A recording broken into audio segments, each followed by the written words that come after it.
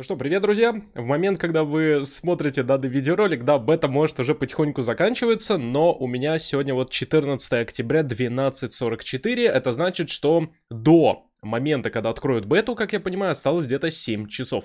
И это, пожалуй, последний эпизод. В этом году я, наверное, не буду делать отдельный ролик по поводу мыслей беты, да. Сделаем это в данном финальном эпизоде. И они добавили режим найти и уничтожить, кстати. Поскольку в предыдущем ролике я вам говорил о том, что вот режим резня очень сильно напоминает режим бомбу, и вот, да, они его, соответственно, выкатили. Итак, сегодня я задолжал вам последнюю карту в бете MV3. Она называется Estate, это логово Владимира Макарова. Надеюсь, еще карт они добавлять не будут, потому что из пяти карт у меня где-то 20... На самом деле тут меньше, чем 20% шанс найти Estate, потому что э, по моим на данный момент вот поиском и происком это, наверное, самая непопулярная карта, которую выбирают игроки. Ну что, друзья, 3 а, ноября у нас стартует ранний доступ кампании, как я говорил, будем проходить полностью, осталось где-то 3 недели, поэтому не забывайте про лайки, подписывайтесь на канал, если вы тут впервые, и огромное спасибо за то, что вы посмотрели все эпизоды беты, если, конечно, это сделали. Ну и вот со второго раза я это дело уже нашел. Соответственно, будем проходить новую часть, колды, как говорится, да? Но, ребят, новинок много не бывает, поэтому хочу хочу порекомендовать вам сайт-спонсор данного видеоролика, где их можно без проблем приобрести, несмотря на ограничения на территории РФ. Рекомендую вашему вниманию интернет-магазин Green Case, на котором вы можете приобрести любую новинку игровой индустрии по довольно приемлемой цене. И на абсолютно любую платформу и площадку, которой вашей душе угодно. Каталог здесь достаточно большой и обширный. Найдется абсолютно все. Но если вас интересуют не только новинки игровой индустрии, то здесь же можно прикупить и какие-то классические проекты. Имеется даже специальный раздел раздел с акциями и даже раздел до 199 рублей. В магазине работает постоянная поддержка, если вдруг у вас появятся какие-то вопросы перед покупкой. А также на сайте есть возможность выиграть случайный ключ в стиме. Для этого нужно всего лишь выполнить несколько заданий, а раздача осуществляется каждые 24 часа, поэтому выиграть ключик может абсолютно каждый. Ниже цены на рынке вы просто не найдете. Всем хорошей игры! Ссылочка на магазин в описании. Логово Владимира Макарова. Это, кстати, очень даже э, хорошо, что так совпало, что Estate, наверное, моя самая нелюбимая карта в бете, все-таки даже фавелу ее поставлю повыше, но она выпала последней как раз на финалочку. Возьмем сегодня один из заготовленных классов, попробуем, наверное, MCW, потому что мне этот автомат очень понравился. Это у нас ACR 6.8 из MV3, но здесь он, естественно, имеет другое название. Карта будет немного прогружаться, поэтому не обращайте на это внимание, окей? Я забыл объяснить для ребят, которые, возможно, в мультиплеерах Call of Duty старых э, мало что понимают. Это, да, моя ошибка была. А каждая карта, которая была показана в этой бете, ну, кроме масштабки, естественно, да, это своего рода миссия из компании оригинальной МВ2. Сегодня мы с вами катаем на карте Estate. Это миссия «Неоконченные дела», то есть логово господина Владимира Макарова. Если бы ремастер МВ2 вышел... Извините, что карта все еще подгружается, да? Если бы ремастер МВ2 вышел вот на движке МВ 2023, хотя это МВ-19, да, по идее, вот так это дело бы выглядело. И учитывая, что нам уже разработчики, так скажем, микроспойлер сделали по поводу смерти Капитана Прайса, да, который гуляет до сих пор по интернету, а, интересно, если это все будет происходить примерно в этой же локации. Если они ее вернут в кампанию, да, это будет слишком жестко, это будет слишком жестким ударом для фанатов. Запрещенная карта Фавела, это у нас с вами миссия Охота была. А, далее, что у нас еще было? Highrise. Вот, кстати, Highrise. А вообще-то, наверное, эта карта не из кампании. Она была уже сделана отдельно, да? Но там упоминаются ящики Криглера. Криглер это чувак, которого мы спасаем в миссии над облаками в Call of Duty 4. То есть теории... Ой, прости, пожалуйста. Может быть, да, с ней что-то и хотели сделать по итогу, но от этого дела отказались. Раст это у нас финал, где мы кидаем ножик в Шепарда. А Скидроу, вот, кстати, наверное, все-таки Скидроу это карта, которая была сделана уже полностью для мультиплеера и не имела никаких референсов в этом плане.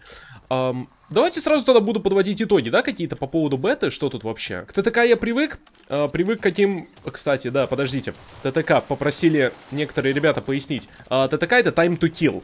То есть, получается, время, за которое ты убиваешь чела. То есть, а, урон в... Ну, что-то типа урона в секунду, короче. То есть, тут теперь за 5 пуль постоянно игра пишет, что ты убиваешь кого-то, да? Но ощущается совершенно не так. То есть, тут даже с пулемета надо всаживать полобоймы, чтобы убить хоть кого-то. И это, да, очень сильно и наглядно показано. Там прям все на это жалуются. Но я нашел, как плюс-минус это дело контрить. Нужен, короче, длинный ствол на пушку.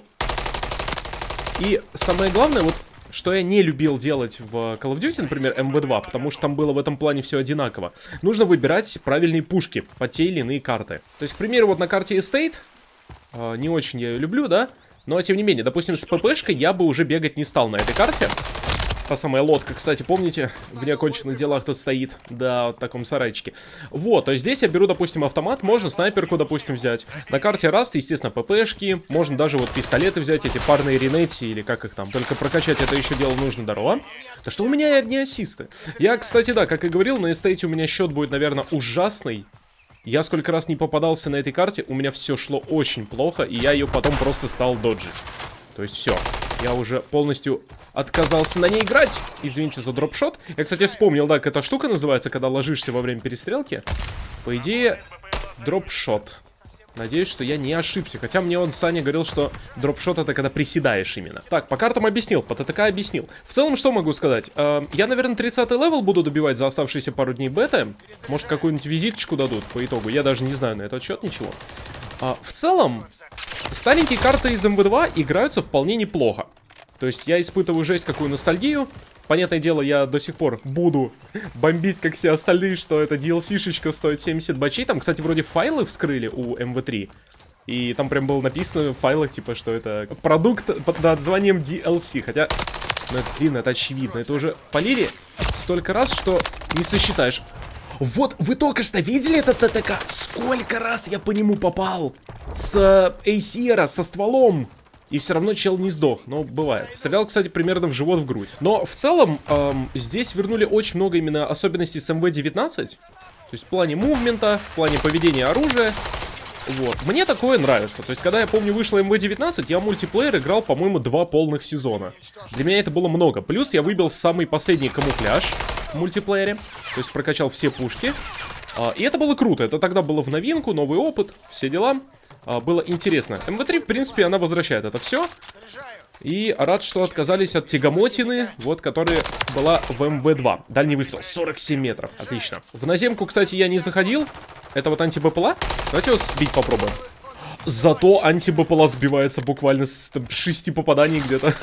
ну, плюс-минус, по крайней мере. Ну, короче, друзья мои, кто брать не хочет, э, всегда имеется МВ-19. Я, наверное, в нее буду отправлять у кого были старые части, потому что это не сильно похоже именно на МВ2 22 года. Блин, мы играли, кстати, командный бой, это было очень быстро. Я даже, наверное, не успел все мысли, да, осветить по поводу этого всего, потому что еще на геймплей надо было сосредоточить внимание. Но зато сделал финальное убийство. Оно, конечно, кринжовое и кривое, но нормально. Там зато вон пацаны лают как раз. Да, ствол стоит, тактический приклад поставил. Модулей будет очень много. Естественно, последнее место, да. Но КД выше отдерки на эстейте для меня это вообще, конечно, что-то с чем. Ладно, ну давайте, что ли, еще одну карту, да, сыграем. Почему бы и нет? Почему бы полноценно не попрощаться с бетой этой колды? Получилось, кстати, очень символично, что я начал играть в бету на карте High Rise, и на ней же я ее заканчиваю в режиме превосходства на данный момент. Здесь, кстати, очень сильно мне нравятся еще и вступления, которые идут. Вот, типа, видите? То есть, да, мы здесь проникаем... Ну, это, понятное дело, отсылка на No Russian, условно скажем. Только, нет, я все-таки оружие, наверное, поменяю. Давайте с конкурентом 9 побегаем. Названия пушек здесь жесть какие кринжовые. То есть, когда вот я транслировал игру вчера, с Аней сидел, мы просто угорали именно над названиями пушек здесь. Не знаю, почему они их такими сделали. Могли бы там какие-нибудь 2-3 буквы просто поменять местами постоянно и эти циферки добавить. Вот и было бы отлично. Ну, короче, ребята, что по поводу бетки? Um, я бы все-таки сказал вам, что подумайте, если будете брать эту штуку, потому что на это самое главное нужно будет решиться, и проблема только в стоимости. Что еще по поводу беты? Потестировал большую часть оружий. В принципе, скажу, что ведет оно себя плюс-минус одинаково, но вот у меня вопрос такой появился. Так как я в МВ2 играл не так много, но я помню, был такой интересный мем, типа, если ты хочешь, чтобы оружие у тебя было хорошее по параметрам, не ставь на него абсолютно никакие модули. И удивительно, но я нашел всего лишь пару модулей за все время, посмотрите на этот ТТК. Типа я пол магаза в челов садил. Um, короче, я нашел только...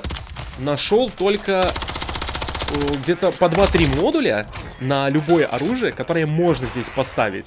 И то 2, это, кстати, среднее еще значение. То есть, чтобы найти 3, это надо реально постараться. Короче, очень много модулей. Они прям руинят вашу пушку здесь. Тут надо, вроде, с одной стороны, брать повышенную дальность, полет пули, да, там, или как нам, начальная скорость пули это называется. А хрен, хрен, потому что поставишь ты, допустим, какой-нибудь приклад или, я не знаю, рукояточку захочешь поставить, все, она сбивает этот параметр и думает, типа, что делать дальше. Я не знаю в таких ситуациях, как поступать. Есть такое ощущение, что, да, большие пушки, которые, допустим, в хардкоре буду уже качать, где я говорил, порезанный HUD, где HP меньше у всех, а, можно будет, короче, с пустыми пукалками бегать. Разницы абсолютно никакой. Офигеть, если бы я сейчас мышку буквально вытянул, он бы меня убил с разворота. Потому что, да, надо слишком много всаживать для того, чтобы добиться результата. У нас там teammate, короче, зарешал. Опа. Взял также, кстати, perk, один хороший, свой любимый, наверное, который сокращает количество убийств для серий на одно очко. Или если у вас, допустим, используется система с э, этими скоростриками, то есть количеством поинтов, которые вы делаете за серии, на 125, по-моему. Я такое практикую только в режимах с целями, но это надо каждый раз менять, поэтому мне просто было лень. Ладно, я за киллы оставил получение. А, серии, кстати, набиваются хорошо. Мне даже кажется, что когда вот в полный релиз выйдет бета, вы это уже сможете проверить, когда ролик, да, выйдет. Um, как его называют? Может быть, даже стрики новые добавят. Может, Джиггернаута штурмового, кстати, добавят. Потому что я помню, вроде в МВ-2 они такое практиковали. Было дело. Или это было в МВ-19. Еще, кстати, появлялись вопросы в комментариях. Посмотрите на этот ТТК ущербный просто. Ладно. А, вопросы по поводу беты. Сейчас, конечно, на них отвечать тупо, потому что бета, наверное, уже будет заканчиваться, когда видос выйдет, но не суть. Меня стали спрашивать, где эта бета вообще будет доступна открытая. Слушайте, хороший вопрос, но я думаю и в Steam, и в Battle.net, ну если мы про ПК-то говорим. Я не думаю, что она, допустим, только в Battle.net доступна, правильно? А то, я, честно говоря, когда такие вопросы почитал, а мне реально стало страшно. Я потому что это, этой темы не осветил, из-за того, что, да, в ранний доступ попал, притом э, Steam-версия у меня этой штуки. Я ж в Battle.net, не помню, Vanguard только брал последний раз. Или даже мне ключ еще присылали. Эх, золотые были времена, когда присылали ключик на Call of Duty раз в год. Да, правда, это продлилось всего пару лет, по-моему. ну ладно, будет что вспомнить. Кстати, мы уже с вами сотку взяли. Да, соточку уже взяли. А, половина матча выиграна. Я стараюсь бегать по точкам. А, все рисуются на С. Здесь самое главное спам не нарушать. А, посмотрел еще много именно таких потных челов. Вы не представляете, как они жалуются на эту колду. В плане именно геймплея. Есть, короче, один чувак, э, он, э, у него никнейм T-Memory, если кто знает такого, на Твиче стримит. Короче, он набивает ядерки в МВ2 чуть ли не каждую первую или вторую игру. Набивал, прошу прощения, прошедшему. И, короче, он не может набить ядерку в МВ3 только из-за ТТК. То есть, вот настолько чувак не привык. Притом, пушки меняет, перки меняет, жилеты эти сраные меняет. И дело-то как раз не в этом, дело в прямых руках, а они у него есть. Но вот палки в колеса вставляют именно геймплейные особенности этой колды. Ничего сказать не могу. Я максимум набивал 15 без убийств здесь. Но в целом... Не знаю, я такой полуподпивасный игрок. Мне, в принципе, так сильно потеть уже незачем. Геймплей других ребят не смотрел. Просто он для меня, так скажем, игрок высшего ранга. Смотрю его давно. Может, я даже его упоминал в какой-то серии. А, поэтому, да, если там кто-то жаловался или, наоборот, превозносил, можете написать в комментариях. Узнаю кого-то из вот этих вот игроков, так скажем. Здорово, я умер. Я сразу понимаю, что умер, да, потому что первые две пули летят в трубу, и все, это ГГ. Так, там чувак был. Брат, отдайся, поддайся. Не рекомендовал бы, наверное, с ППшкой все-таки тоже на хайразе катать, но мне просто нравится эта пушка. Как он называется? К конкурент 9, да? Конкурент 9 хорошая штука. Я с ней с радостью играл и буду играть на выходе. Как бы, кстати, не матерились, мы же все прекрасно понимаем, что эта колда продастся огромным тиражом. Не, не подумайте, я, сейчас просто фактую в плане вот МВ2, да, когда выходила. Я, если честно, думал, эта колда не сильно продастся в плане абсолютно всего, да, там мультиплеер тягомотный был, там компания, все прекрасно понимают, что все всех спасают и т.д. Кооперативный режим, который, естественно, сдулся через неделю примерно. Ситуация была другая. Сейчас как бы вот люди тоже бомбят, но вот хочется посмотреть уже на продажи, которые достигнет эта часть. И как я говорил, они, конечно, очень сильно, как его, припоздали с беткой-то. Да вообще в плане вон того же трейлера мультиплеера обомбил. Нафига его показывали, если там уже через пару дней мы могли играть в мульт? Типа, что вы там собираетесь показывать, без понятия. Короче, за счет старых карт, за счет пушек, которые мне нравятся, за счет хренового ТТК. Кстати, по поводу читеров. Я забыл вам еще рассказать такой прикол. Я вчера попался с читером. Почему я этот момент реально забыл вам упомянуть? Я попался с читером на карте Estate. Там, короче, чувак водил по стенам, и это был э, парень, который на геймпаде играл. Я слышал про вот эти приколы, то, что когда бета на PlayStation не стартовала, там э, буквально через сутки уже читеры начали появляться. Это было очень смешно, но я не верил до последнего, пока сам на него не наткнулся. И дело было не в беспилотнике, как раз таки. Там чел просто водил по стенам. Ай, почему я...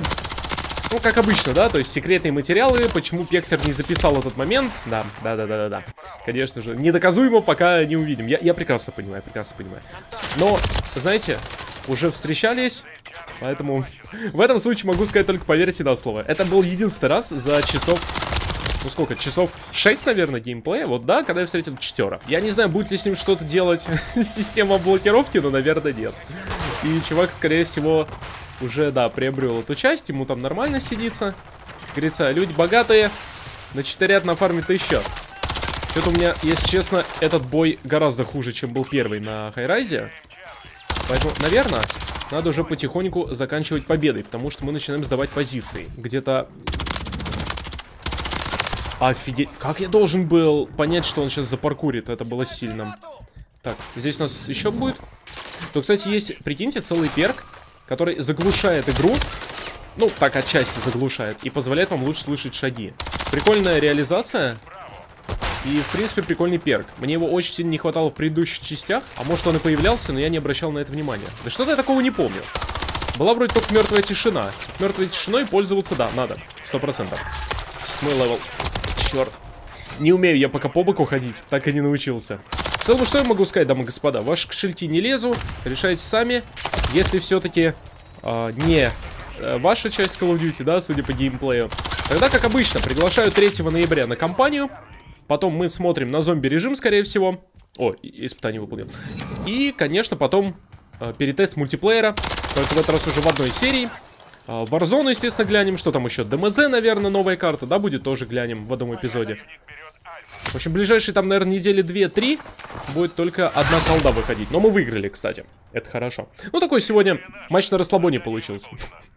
В общем-то, здесь мне добавить больше нечего. Я, наверное, высказал все. А, итоговая оценка. Ну, знаете, ребят, за счет старых карт, наверное, 6, может, с натяжечкой 7 из 10 в плане мультиплеера.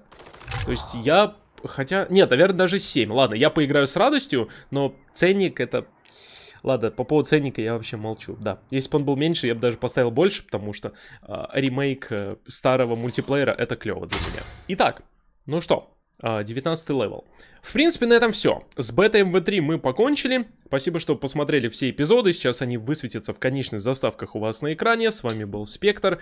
Играть в хорошие игры, играть с хорошими модами. Ждем 3 ноября. Хотя, если колда выйдет под ночь, то уже 4 я буду проходить кампанию, потому что ночью буду снимать ее для вас.